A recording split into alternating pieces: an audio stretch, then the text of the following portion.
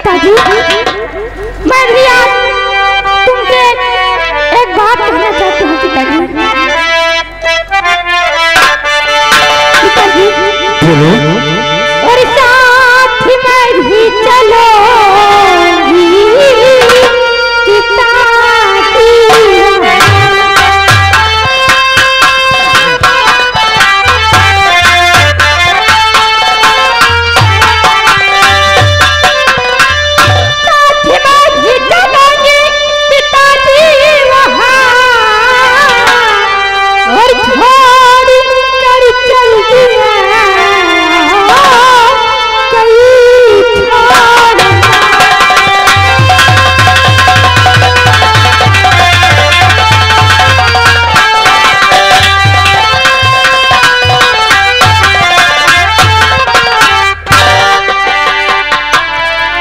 नहीं तुम्हें मेरे साथ नहीं जाना।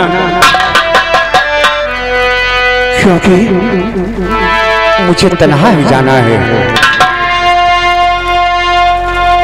आज मैं ये दरबार छोड़कर बारह बरस के लिए तपस्या में जा रहा हूँ।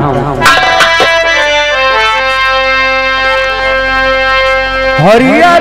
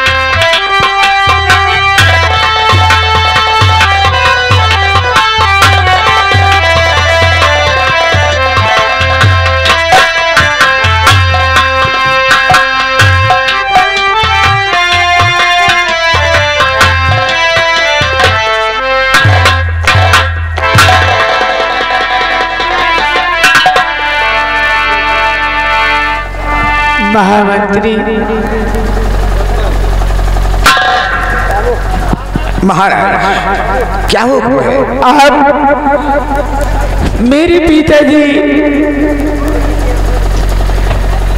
ये नहीं राजा का आदेश है कि हमारे पिताजी जहाँ भी जाना चाहते हैं उन्हें शीघ्र ही छोड़कर आओ। जैसे क्या राजा आप कहो सराख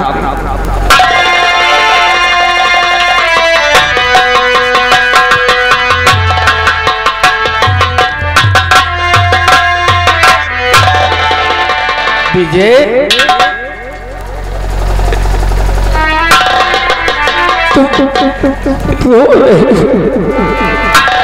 अरे भाई ये मत सोचना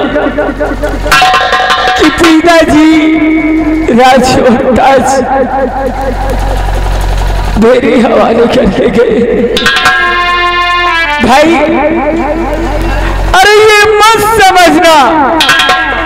अरे जो मेरा है, वो तेरा है। और जो तेरा है, वो मेरा है। तुझे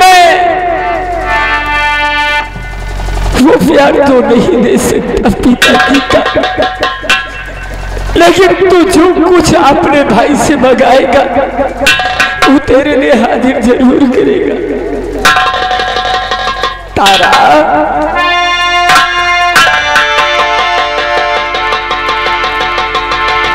अरे, इन्हीं समझाओ पिंकी और पीछे को अरे मैं इनकी आँखों में आँसू नहीं देखना चाहती अरे ये मेरे भाई बहन ही मेरे जिगर के टुकड़े।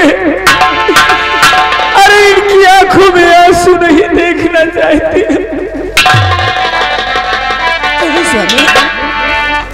यही दोनों मेरी आँखें हैं। समझती। विजय पिंकी मेरे पास आओ मेरे बच्चों। देखो।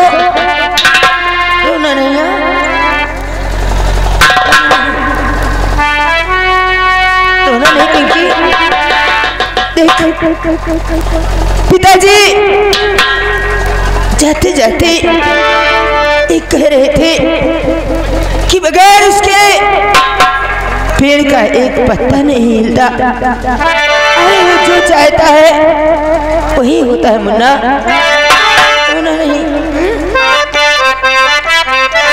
बात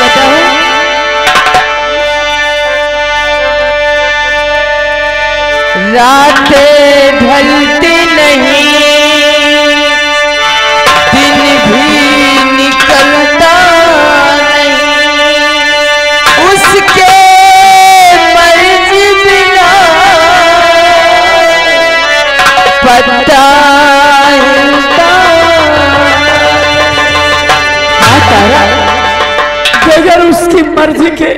पत्ता भी नहीं हिलता है।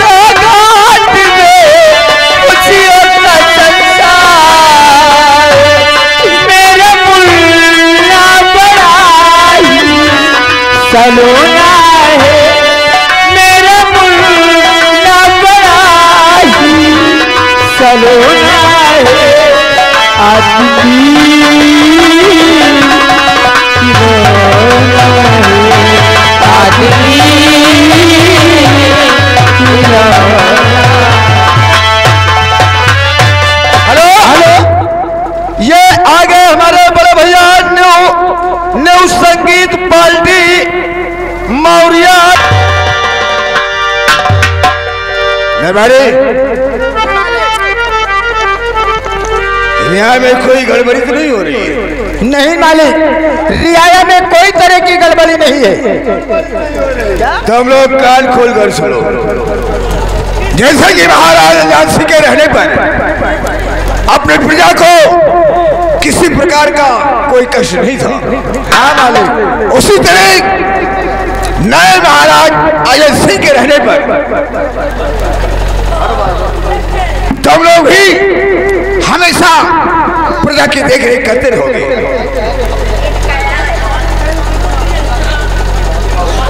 हाँ मालिक अगर कोई भी शख्स अगर किसी को भी कष्ट होता है तो या कोई फरियादी आता है तो उसे राज दरबार तक अवश्य लाया जाए। बहुत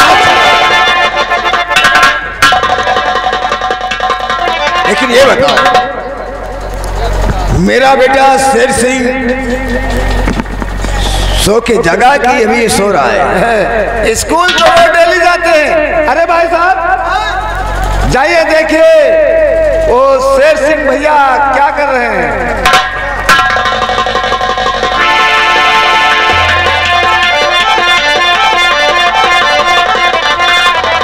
मालिक शेर सिंह भैया कमरा में शोर है।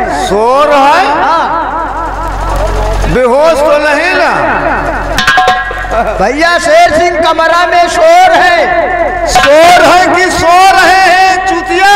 हाँ सो रहे हैं। जाओ उनका जगह के ले आओ।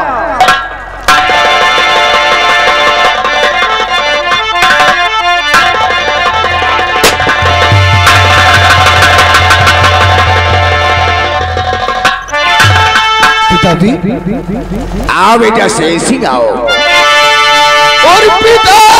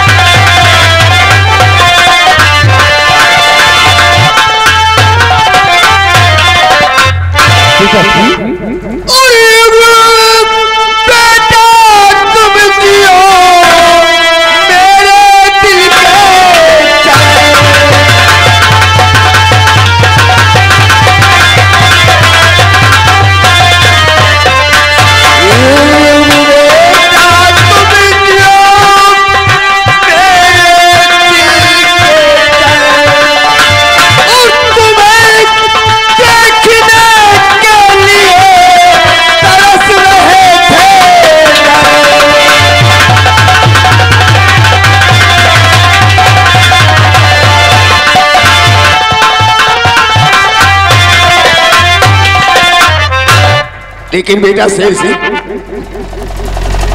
पिताजी तुझे कॉलेज जाना है या नहीं जाना आप तो जानते हैं कि कल अगस्त का दिन भी है और सारे बच्चे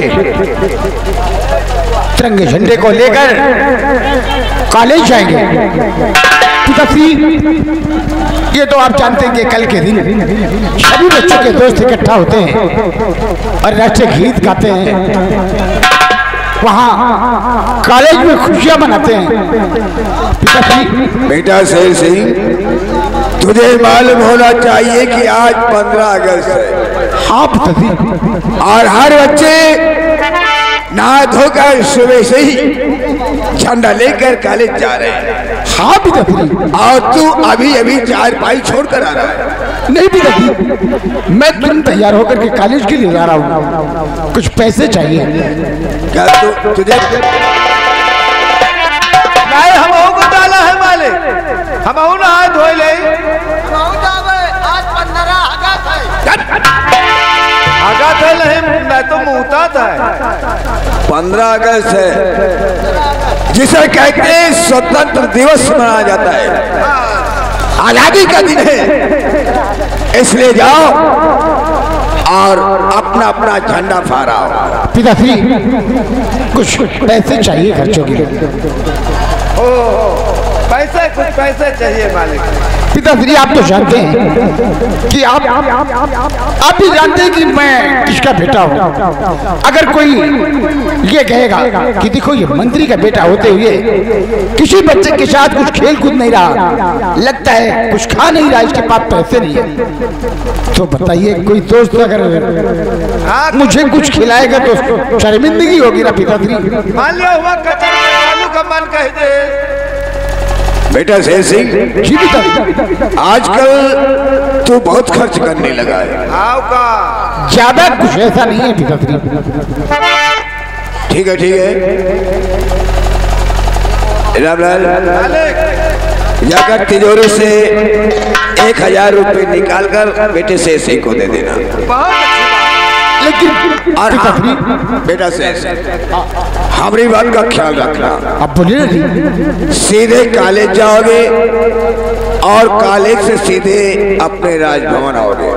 क्यों नहीं किसी से किसी से दंगा फसाद करने की ज़रूरत नहीं। अरे डैडी आप हम कहते क्यों हमसे सबसे झगड़ा करी तो तुरंत वही का मारा हम समझा रहे हैं कि किसी से लड़ाई झगड़े मत करना। डैडी इनको मेरे साथ भेज। दो कर भवा तो फिर हाँ वो तो फिर कहा तक इंसान बर्दाश्त करेगा? तो ठीक है। हाँ डैडी मैं जा रहा हूँ लेकिन इनको मेरे साथ भेजिए। तुम लोग भी जाओगे? तो ठीक है आज तुम लोगों की छुट्टी है। आज पंद्रह अगस्त में तो जाएँगे हम लोग। क्यों नहीं? आज चलते हैं। चलिए। जाओ। ठीक है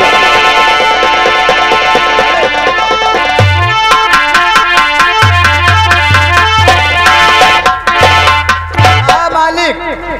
हम हो जाई हमारा मन कहा थे कि आंगनबाड़ी में नाम हम हो लिखवाई। आंगनबाड़ी में नाम लिखाएगा? ठीक है जहाँ भी तेरी इच्छा हो वहाँ नाम लिखा ठीक हम हो पढ़े लेकिन तुम शेर सिंह के साथ जाओगे। अच्छा। अगर किसी से लड़ाई झगड़ा करने की कोशिश करता है ठीक। तो उसे समझा बुझाकर हवेली वापस ले आना। बहुत अच्छी बात मालिक चलते हैं हमें भी समय हो गया है। राज दरबार हमें भी जाना है। महाराज इंतज़ार करते होंगे।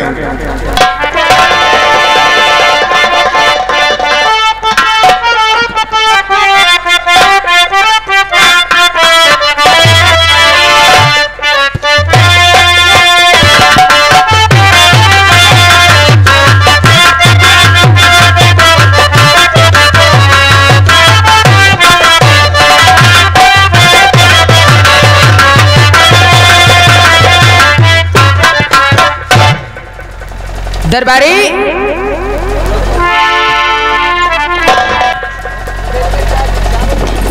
अरे वो कहाँ गया? तुम्हारा भाई?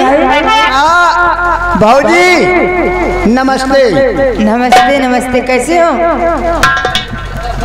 नमस्ते। नमस्ते। आप कैसे हो? हम तो ठीक है। हम ठीक है। भाजी तुम ठीक हो कि नहीं? हाँ मैं तो बिल्कुल ठीक हूँ। लेकिन ये बताओ हमारे वो कहाँ है? ये अरे बुद्धू मैं इनकी बात नहीं कर रही हूँ। हमारे वो कहाँ है? पगले।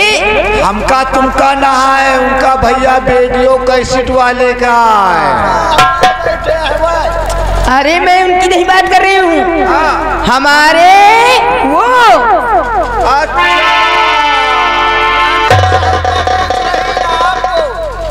हमारे कहते हैं हमारे वो।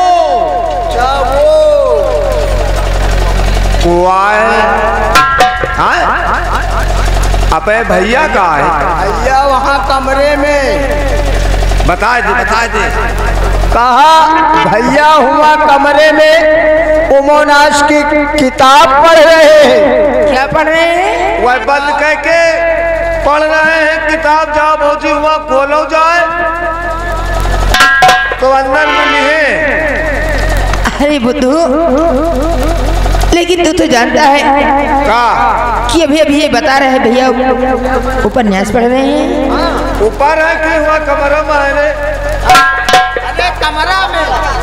वह तो जाके गेट खोलो जाए के अंदर मिली देख दरबारी मैं तो कहती हूँ ज़्यादा उपन्यास पढ़ने से भी शरीर को हानिकारक होता है। का हमें सबके लायक कोनो काम होए बताओ माता जी। ठीक है?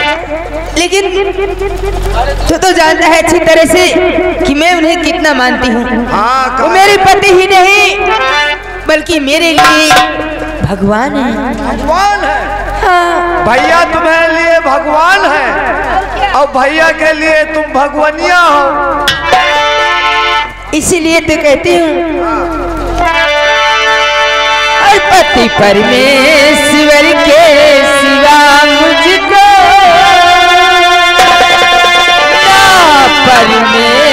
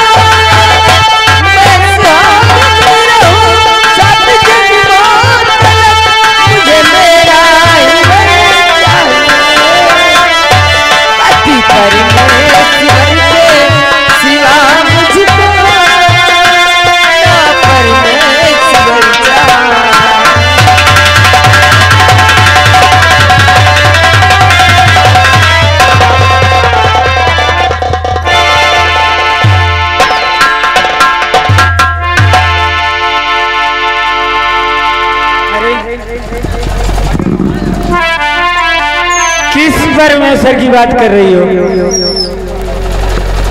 क्या बात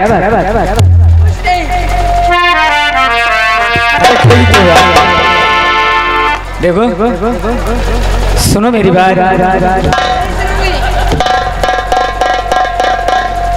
अच्छा? क्यों नहीं सुनोगी? अगर तुम नहीं सुनोगी ना तो ठीक है। चलो। हम ज़रूर तुम्हें सुनाएँगे लेकिन पहले सबसे पहले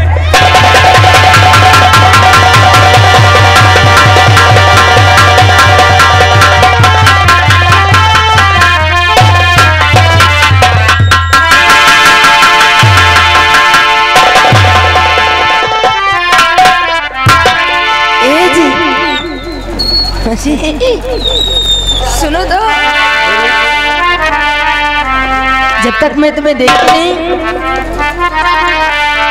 तुम जब झूम झूम कर नाच रही थी ना तो ऐसा मुझे लगा कि जैसे आज चाँद ज़मीन पर उतर आया है।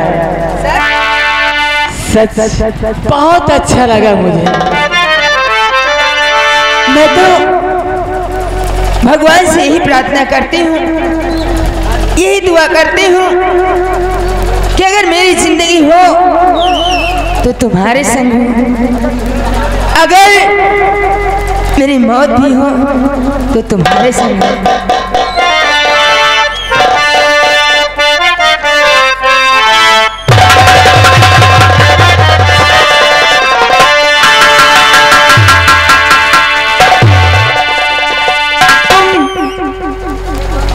तो मेरी ही ज़िंदगी हो। ए तुमसे तो मेरा जीवन ही बना है। जीवन?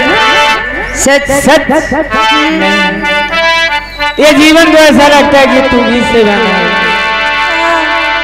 तुमसे बना मेरा जीवन। सुंदर सपन सला